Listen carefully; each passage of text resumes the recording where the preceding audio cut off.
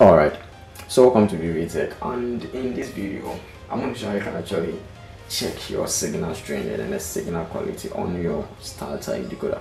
So whenever some channels are unstable and you are finding where the problem is coming from, maybe the problem might be from your satellite dish.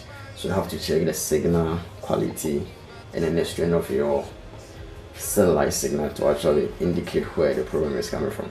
So all you got to do is to pick up your remote and you look for the menu button, that's the M symbol on your remote. You press on it and use the volume down to switch it to the other side. And you put it on settings, look for settings, press OK on it. And here, come down to the channel status over here and you press OK on it. So down below the screen, as you can see, you have the signal strength and then the signal quality with their indicators over there. So you have to check if the signal is not stable, you have to know that the problem is coming from the SLI dish.